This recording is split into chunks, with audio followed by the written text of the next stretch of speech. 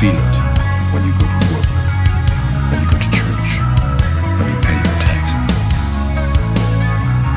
It is the world that has been pulled over your eyes.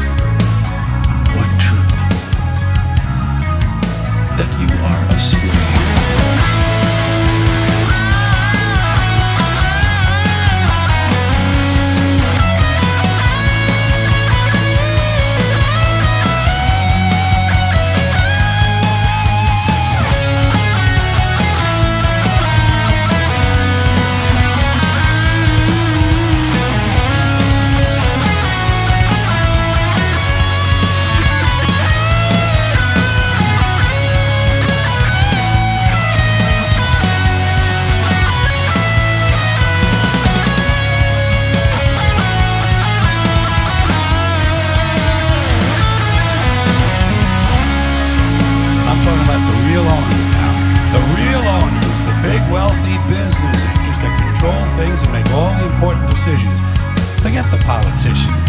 Politicians are put there to give you the idea that you have freedom of choice. You don't. You have no choice.